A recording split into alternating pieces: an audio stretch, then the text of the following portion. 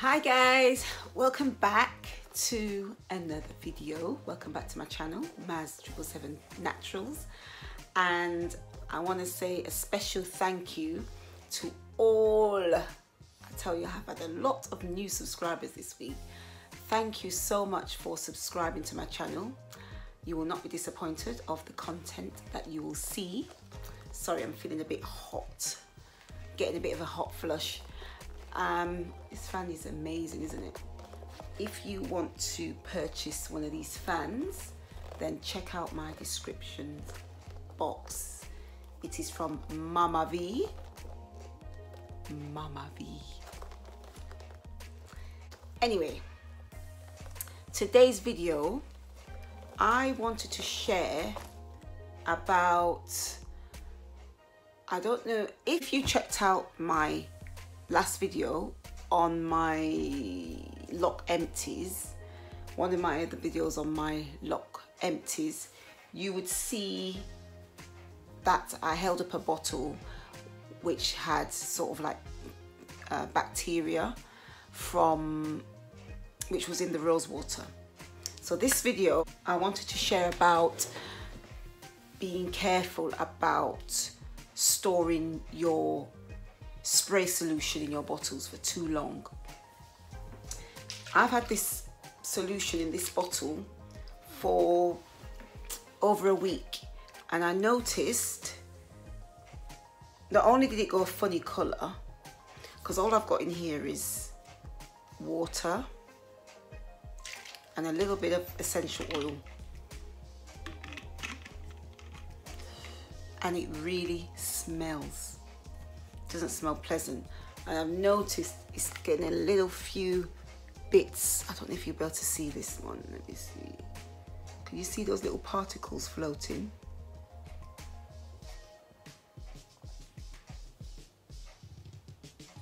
Can you see those? Just like in the rose water the same kind of particles are floating in this bottle, you see? So my advice is to not store your solution in your bottles for longer than a week. I would say just mix up enough for a couple of days. This is my bottle what I have my aloe vera in, my aloe vera juice, and I keep this in the fridge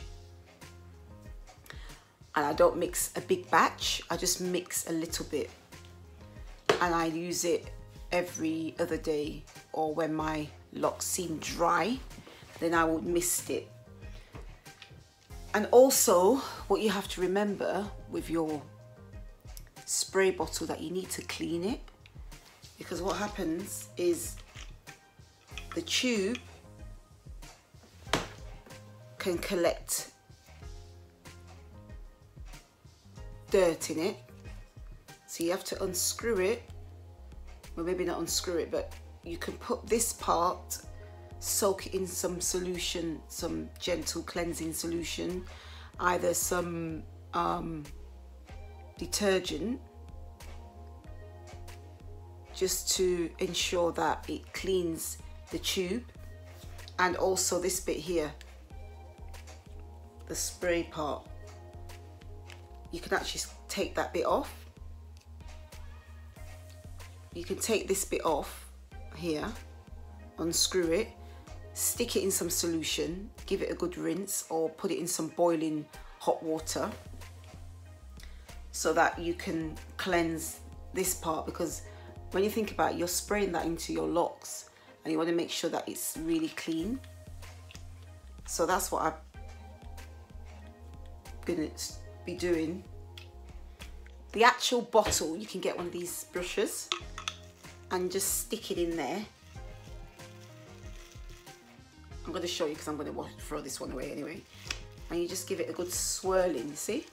Just clean it.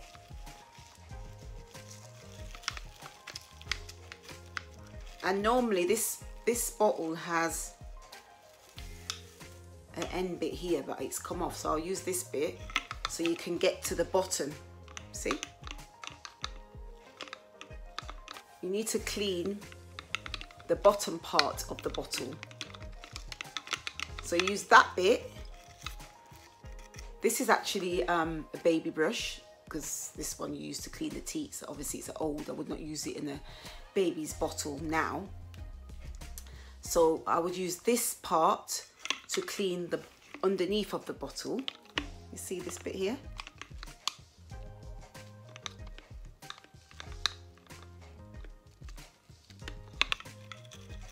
and then the bigger part of the brush to actually clean inside and you need to try and do that at least once a week give it a good clean um, soak it in some water and then what you do oh what you do once you put your water your soapy solution in just give it a good shake and then squirt it through this part here to clean the tip of the spray and make sure that this part is soaked in solution as well. Already that looks clean. And then what you do, you can fill it up with either distilled water or bottled water. Oh, bottled water. So I would, so there's my bottle all clean. No scum underneath. Make sure there's no scum at the top, no scum underneath, and no scum in the spray part. And then what you would do, what you would do is use some distilled water. This is the one I use. I used this when I had my steamer I used to steam. I use this water in the steamer. It pre prevents furring and scale formation and that's what we want in our bottles. We don't want any furring or anything like that. So I'm just pouring some in the bottle.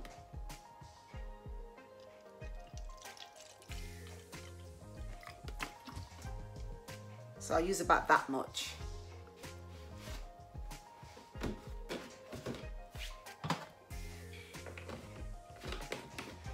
I'll use about that much, not too much, just enough for like a couple of days. And then what I would do, I would put some essential oils. So I'm gonna put some peppermint oil. Put a bit of peppermint oil.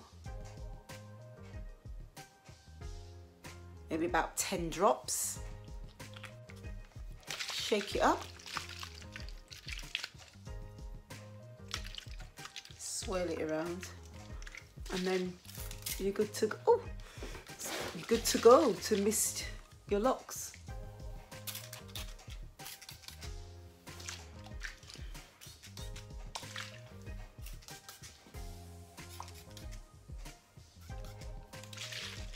and then you keep this.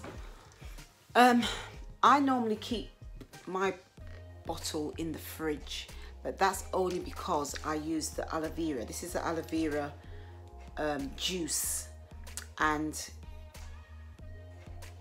it needs to be kept in the fridge so I would keep this in the fridge this is distilled water that doesn't need to be kept in the fridge you can just keep that on the side but like I said try not to try not to um, make too much of a big batch. Just make enough for a few days. And then that way you will have no problems of the water going stale. Because the last thing you want is to put stale water on your locks. Because if you put stale water on your locks, obviously it's going to start smelling. You don't want smelly locks. You want fresh, mm, fresh smelling locks you can see how moisturized my locks are. See? Light and moisturized. Combination of using the Tresemme shampoo. I will link that video above so you can watch that. And because I washed my hair yesterday, um, what I do, I use the Tresemme shampoo because it's got sulfates in it. So it's not that great to use the sulfates but to be honest it agrees with my hair cleans it really well and then I will just use the olive oil sulfate free shampoo afterwards and it, it really my locks feel really really soft and really really conditioned because I would use the um, vitamin E oil. Okay. I'll use the vitamin E oil which is this one. I showed that in another video. And I'll just use it on my scalp and down the length of the lock. And it helps to keep it really moisturized. So that is it guys. So remember keep your spray bottles clean. Disinfect your spray bottle. Boiling hot water or a mild detergent. As long as you make sure you rinse it out properly you use a bottle brush to clean it properly all the way around the sides and at the underneath. You clean this part as well. And making sure you clean the actual spray part so you take this off dismantle it and clean this part and the tip. Take this off unscrew it and clean that part and you're good to go. So if you notice that your spray bottle is you're starting to smell a pungent smell which is not what you used to smell before then there's a possibility of the water going rancid. So just a tip that I thought I would share with you guys. Because we all want healthy locks. So that is it for this video. Oh this these locks are so annoying. You see these ones? These are the ones what snapped off. So it's not grown back yet so it keeps sticking out so guys thank you so much for watching my video. Don't forget to subscribe. Don't forget to share the video. And don't forget to press the notification bell at the bottom if you want to be alerted of my up and coming videos. As always guys, stay blessed, stay beautiful and stay uniquely you. And I'll see you all in my next video. Thank you so much for watching. Take care now. Mwah. Bye.